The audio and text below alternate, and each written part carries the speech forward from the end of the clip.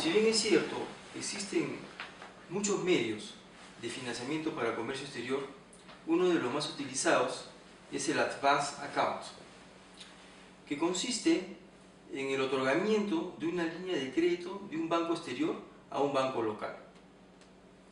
Esta línea de crédito es específica, pues está orientada básicamente a importaciones, exportaciones y en menor cuantía a bienes de capital o capital de trabajo.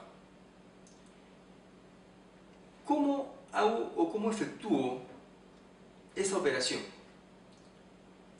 Suponiendo que yo soy un empresario que ha logrado eh, contactarse con una empresa extranjera y requiere un financiamiento para poder, digamos, eh, exponer o, brindar los servicios a esta empresa exterior, lo que tengo que hacer es recurrir a mi banco local y decirle, sabes, tengo un buen proyecto en el extranjero y requiero que me apoyes con el financiamiento.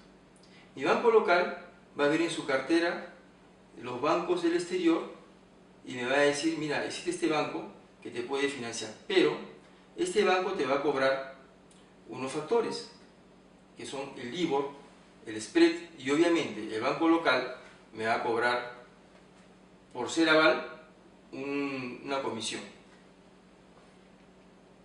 Una vez que el Banco del Exterior acepta financiar mi proyecto, este transfiere el riesgo al banco local.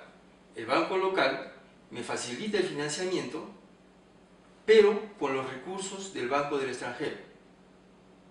¿Esto cómo lo puedo costear? ¿Cómo puedo saber cuánto es lo que me va a costar este financiamiento?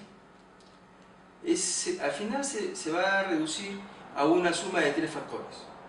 El IVO más el spread, que básicamente son factores o costos del exterior, más una comisión que me va a cobrar el banco local como aval.